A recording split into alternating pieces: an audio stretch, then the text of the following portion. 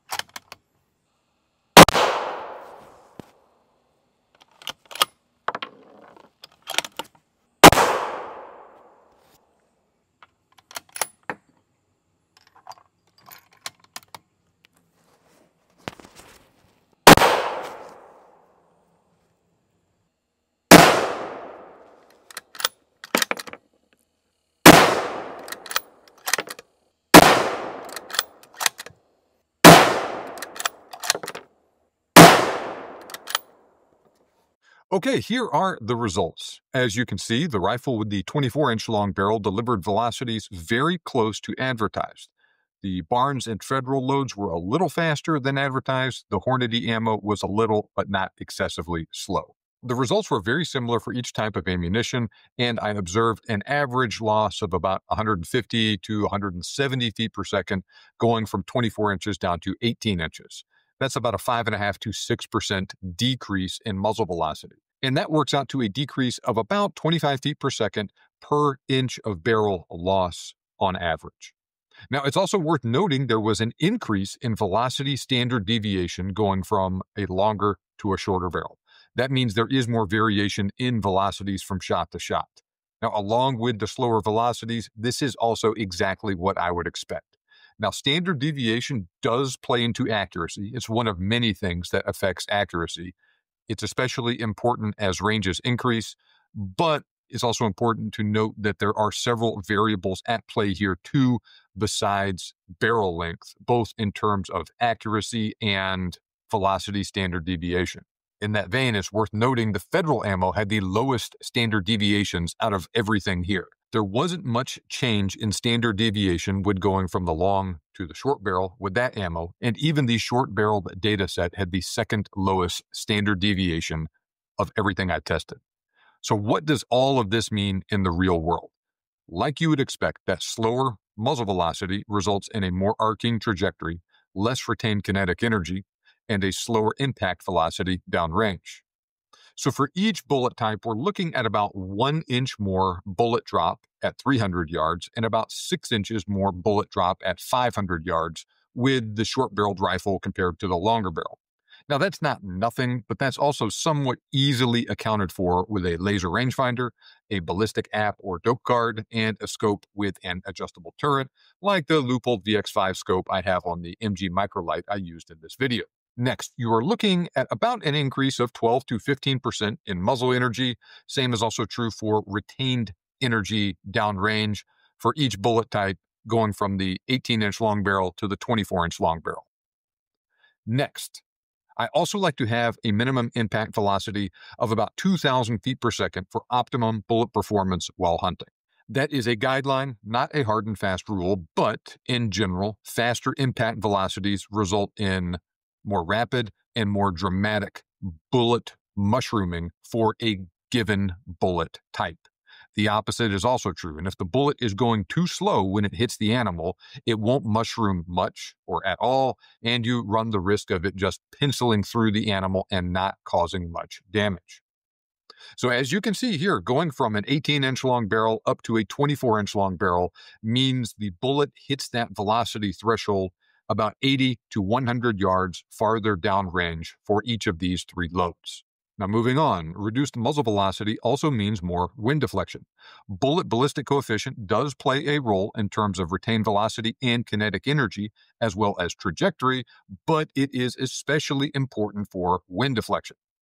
Apples to apples, the slower load for each bullet type had a little more wind deflection, but even the slow ELDX load had either the same or less wind deflection than all of the other loads since it has the highest BC of the bunch.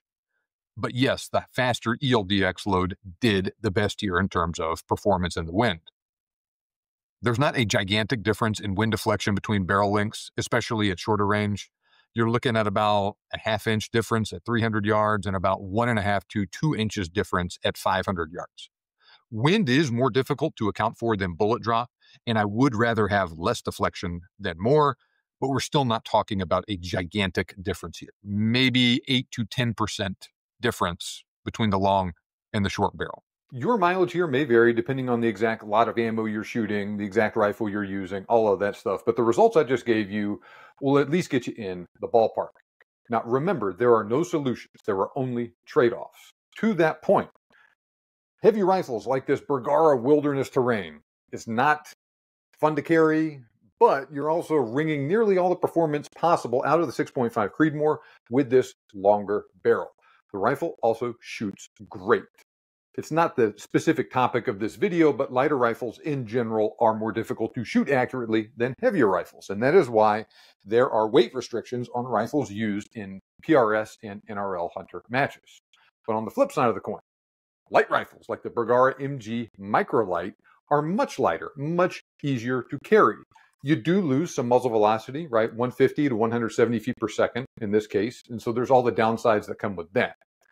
In some cases, that's a good trade off. In other situations, it is not. But all in all, I was pleasantly surprised with how well the 6.5 Creedmoor performed out of this shorter barrel. This rifle, or one like it from another manufacturer or from Bergara, right? Bergara, for instance, makes a version of their Ridge rifle. Also has an 18 inch long barrel. It's heavier than the Microlite, but still lightweight. It's also much less expensive than the Microlite. In any case, a rifle like that is a good choice for someone who prioritizes a lightweight and compact rifle and they'll be using it in a situation where the reduced performance at long range is less important.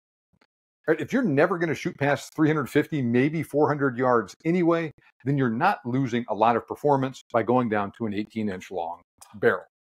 Now, a short barreled rifle like this is also a good choice to pair with a suppressor.